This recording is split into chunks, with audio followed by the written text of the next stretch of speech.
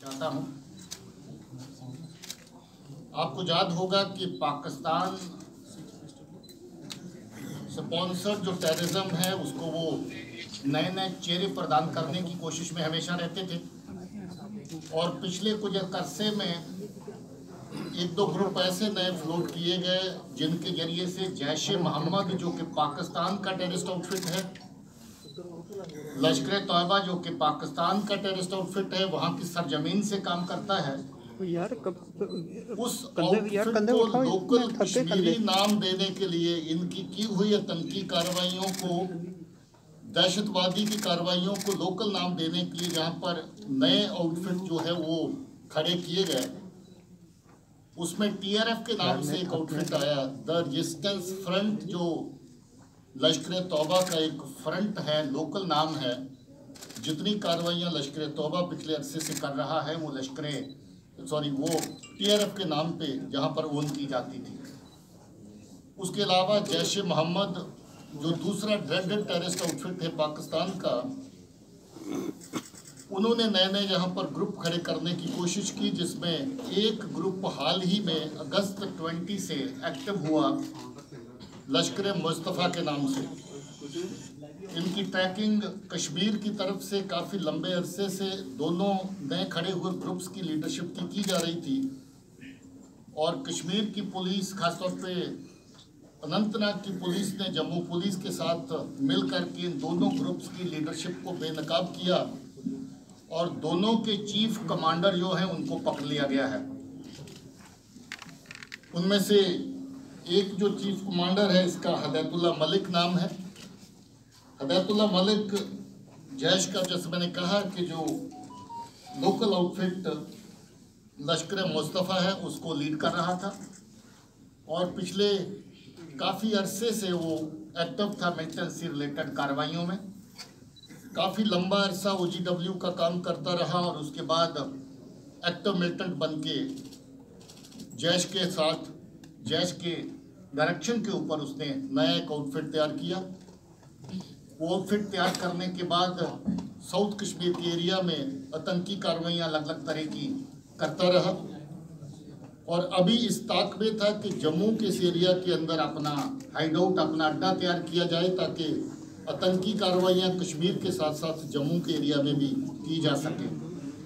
और उसके अलावा पाकिस्तान से जो हथियार अलग अलग ज़रिए से आते हैं, चाहे वो बॉर्डर से किसी मिलिटेंट्स के थ्रू आए, जो टनल्स खोदी गई उसके थ्रू भेजे या फिर ड्रोन्स के ज़रिए से जो वेपन फेंके जाते थे, उनको रिसीव करने का एक नेटवर्क जहाँ पर बनाया जाए, और फिर उनको ट्रांसपोर्ट करके कश्मीर भी भेजा जाए। इसके साथ इसने एक और नेटवर्क खड़ा किया था, जो पंजाब के साथ मिलके जो इसके साथी हैं, उनके ज़रिए से बिहार से वेपन मंगवाने का नेटवर्क खड़ा किया था।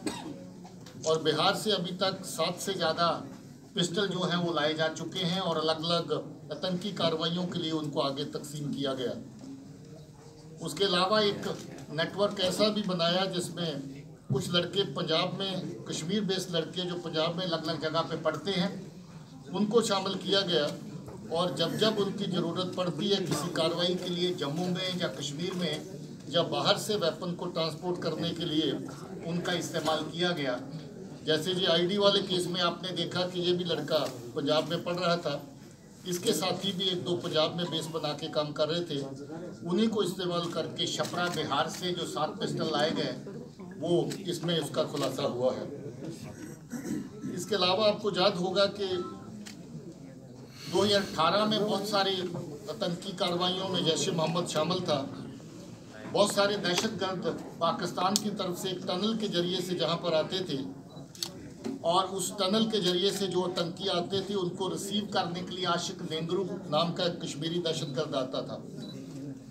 ये उसका एसोसिएट रहा और किसी एक स्टेज के ऊपर आशिक नेंगरू को दिसंबर उन्नीस के आसपास उसको जहाँ से टनल के ज़रिए से परिवार के समेत जिस टनल से आतंकवादियों को लाया जाता था उसी टनल से परिवार समेत उसको निकाल के पाकिस्तान भेजा गया।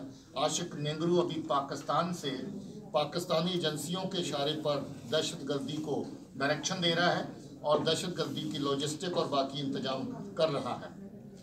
इसके साथ साथ तो इस आतंकी को जो पाकिस्तान में हैंडल करने वाला आदमी है, जिसको अलियास डॉक्टर के नाम से जानते हैं, उसके कहने पर ये बंदा दिल्ली भी जाता है और दिल्ली में जाकर के हमारे एनएसए साहब, अजीत डोबल साहब के जो जहाँ पर ऑफ़िस है, उन एरिया की रैकी करता है, फ़िल्म बनाता है।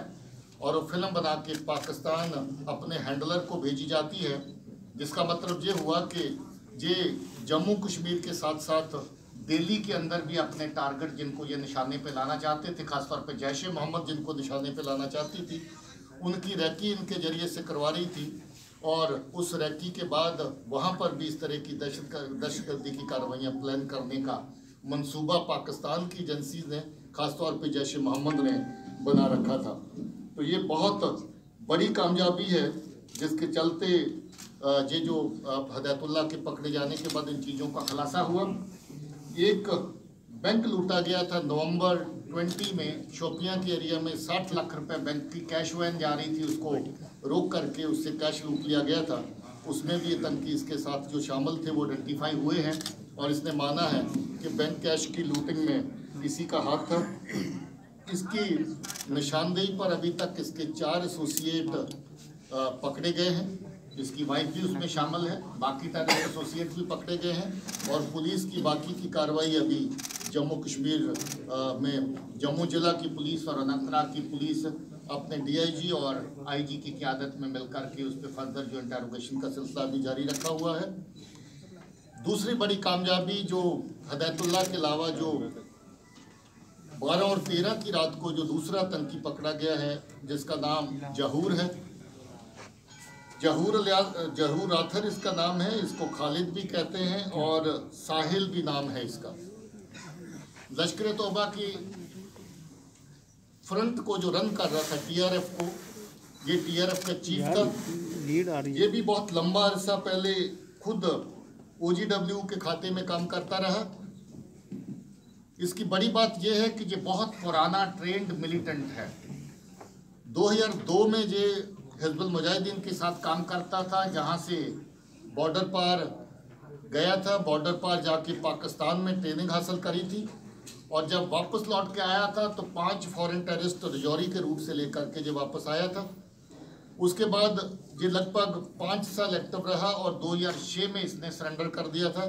और सरेंडर करने के बाद ये आराम से बैठा था, मगर इसकी एक्टिवेशन 2019 के अंदर दोबारा होगी और 2019 के अंदर जो इसके हैंडलर पाकिस्तान में बैठे, जो जानते थे इसका पोटेंशियल क्या है उन्होंने इसको नया आउटफिट जो बनाया टीआरएफ उसकी जो कमांड उसके हाथ में दी और टीआरएफ के चीफ का भी ये काम कर रहा था। इसने अपना काफ़ी बड़ा नेटवर्क कश्मीर के अंदर पैदा कर दिया, जिसमें से आठ लोगों की पहचान अभी तक हो चुकी है। उसमें से कुछ लोग पकड़े जा रहे हैं, उनकी इंटेरोगेशन कश्मीर वाली साइड पे शुरू हो चुकी है। और ये जब पकड़ा गया, क्योंकि इसको सरेंडर मिलिटेंट होने के नाते इसके ऊपर कोई शक नहीं था इसकी जो अभी तक की जो डेवलपमेंट सामने आई है, कुलगाम में तीन बीजेपी के जो एक्टिविस्ट हैं, उनको मारा गया था। उसमें इसकी शमूलियत थी, जो खुद उसमें शामिल था।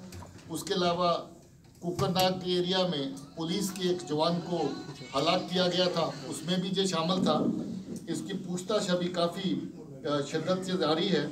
और मैं ये समझता हूँ कि जिस लेवल पे ये ऑपरेट कर रहा था, इसकी काफ़ी सारी और आतंकी गतिविधियों का पता इसमें से चलेगा। सो आपके सामने तीन बड़े ऑपरेशंस का खुलासा हुआ, जिसमें जैश मोहम्मद का फ्रंट लश्कर मुस्तफ़ा, लश्कर तौबा का front TRF the resistance front और इसके साथ एक और नया आउटफिट जिसको पाकिस्तान फिर से सक्रिय करने की कोशिश में है, जिसको अल बदर कहते हैं। अल बदर का जिसने आईडी जहाँ पर ला के जम्मू शहर में किसी भीड़ वाले इलाके में लगाने की ताक में थे, उससे पहले ही पुलिस ने उसको पकड़ लिया, जिससे बहुत बड़ा हादसा टल गया। पिछले दो रोज से हम लोग बहुत बड़ी अलर्ट साउंड करके चल रहे हैं, क्योंकि जम्मू कश्मीर में इस बात की अलग अलग एजेंसी से और पुलिस के ज़रिए से रिपोर्ट आ रही थी कि ये कोई ना कोई बड़ी जो कार्रवाई आज के दिन, पुलवामा के अटैक के दिन, दूसरी एनिवर्सरी के दिन कहीं ना कहीं अंजाम देंगे। मैं मुबारकबाद देता हूँ अपनी पुलिस को और अपने उन सब मेंबर्स को जिन्होंने इन ऑपरेशन में हिस्सा लिया, बहुत बड़ा हादसा होने से रोका और दो चीफ कमांडर्स को पकड़ा जिन्होंने बहुत सारी आतंकी कार्रवाइयाँ पहले करी हैं और बहुत सारा नेटवर्क उनका जो है, उसको बस किया गया है और और ज़्यादा एसोसिएट्स और ज़्यादा उनकी आतंकी कार्रवाइयाँ सामने आने का अनुमान है। बहुत बहुत शुक्रिया।